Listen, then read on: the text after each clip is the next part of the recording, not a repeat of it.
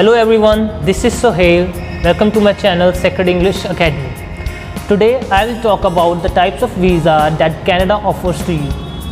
Before starting with the video, I would like you to subscribe to my channel because I will be uploading more videos in the upcoming days. So let's begin. Basically, Canada provides you two types of visa that is temporary visa and permanent visa.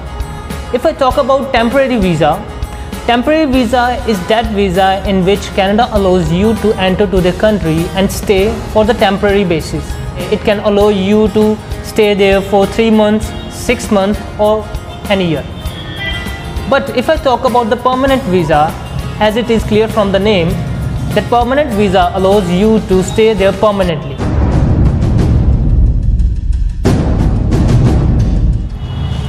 So I will be explaining these visa in detail.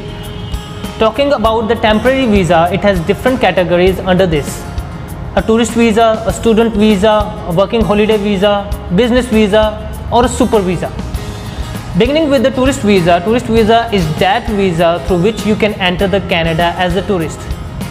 Many people match it with a visitor visa but there is a little difference among both as it is clear from the words that visitor visa is for visiting someone in the Canada. You have to mention the person uh, whom you are visiting in the Canada to the embassy. You have to mention it to the embassy before entering the Canada. But in case of tourist visa, you have to mention uh, about the tour you are going to have in the Canada. You have to uh, write in, in the statement of purpose that uh, where you are traveling, when you are traveling, uh, what places you will be visiting and so on. So let's talk about the student visa. You might be known to this visa. This visa is used for the higher education in the Canada.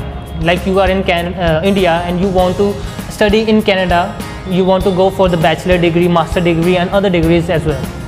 So you have to apply for the student visa. Many students from India has gone to the Canada already and many are deciding to go there okay it is a very simple visa for you so let's talk about the super visa so this is something which people usually don't know. Super visa is basically for the parents and the grandparents. For the people who want to visit their children or the grandchildren who are living in the canada. This is a super visa and uh, this is basically for this purpose only.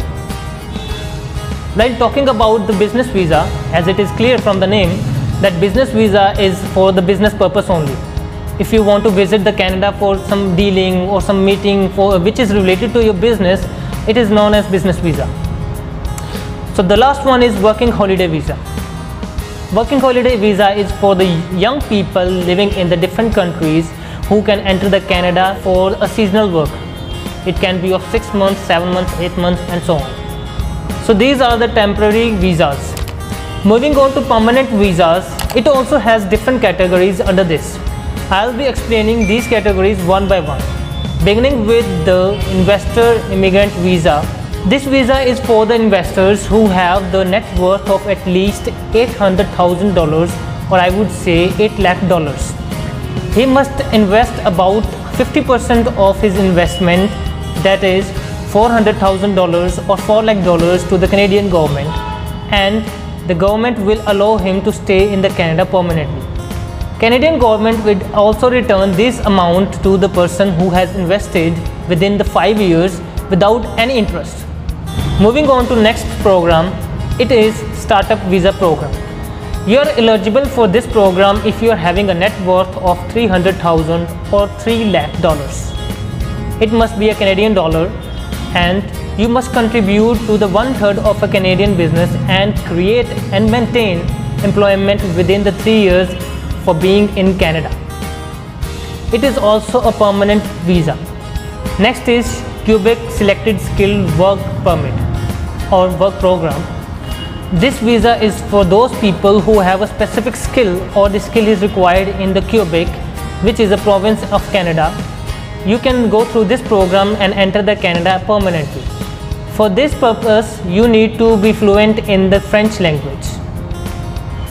Apart from this, there is a visa which is family sponsorship visa. This visa allows the spouses and the dependent children of the permanent resident or the citizen of the Canada to enter the Canada and stay in Canada permanently. Moving on to the next program which is live-in caregiver program. This program is for those people who are qualified as a caregiver and take care of the elderly, disabled or the children and live in a room in a Canada. Last but not the least, it is an express entry program. It is an electronic immigration program designed by the Canadian government for the skilled or the semi-skilled people. You can enter the Canada as a permanent resident. All you have to do is provide your detail to the Canadian government and this government makes a draw each month in which they are given a cut-off score. If your score is above the cutoff, it will invite you to apply for the permanent resident. Your score is based on your qualification, your skill, your experience, your language proficiency scores, to, uh, making the total. If it is above the cutoff, then the government will invite you to apply for the permanent resident. It is quite famous these days. Many people has got the permanent resident through this program and even now the government requires more people from different countries. As Canada is a very big country and it is not filled, its population is very less, it still demands many people. So these are the different kinds of visa. Now I want you to subscribe to my channel and press the bell icon because in the upcoming days I will be making more videos about the visas and the immigration.